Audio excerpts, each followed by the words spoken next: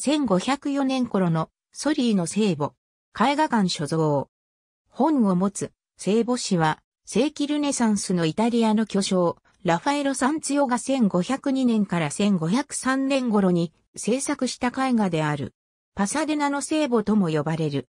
ラファエロが19歳の頃に描いた本作品は構図の諸要素を調和の取れた意味のあるものとして扱う画家の才能をすでに明確に示している。現在はカリフォルニア州パサデナのノートンサイモン美術館に所蔵されている。聖母マリアは幼児キリストを抱きかかえながら手に持った祈祷書を開いている。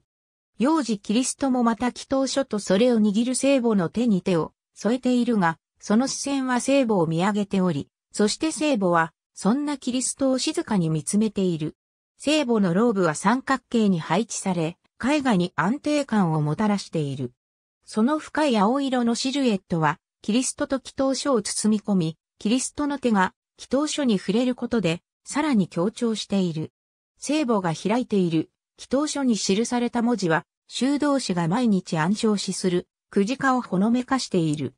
くじかは、キリストの卓形と死を主題としており、従ってキリストは人間の贖い主として自身の犠牲に思いを巡らせていると考えられる。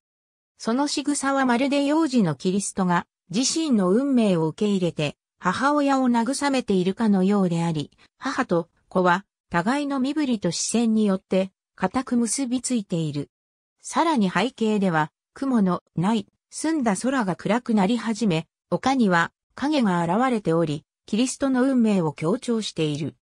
ラファエロは単に美しい聖母子のイメージ以上の意味を持つ人々を宗教的な瞑想へと導く作品を創出しており、その深く精神的な品質はラファエロの聖母画になぜ高い需要があったのかを物語っている。構図はおそらく本作品よりも早く制作されたソリーの聖母の別バージョンである。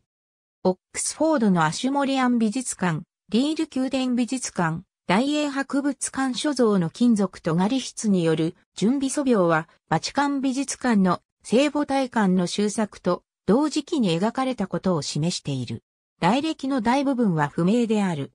絵画が初めて記録されたのは1883年、ロンドンのクリスティーズで、フランチェスコ・フランチャの作品として、競売にかけられた時である。ジョン・バーレンサイムズ・バーレン大佐が購入した絵画は、相続によってケント州に留まっていたが、1952年までには、ウィルデンスタインカンパニーの手に渡り、1972年にノートン・サイモン財団に売却された。価格の300万ドルは当時芸術作品に支払われた金額で3番目の高さだった。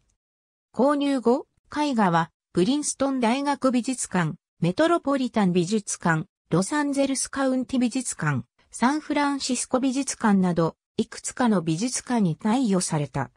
1975年、絵画は新たに開館したノートンサイモン美術館に所蔵された。ありがとうございます。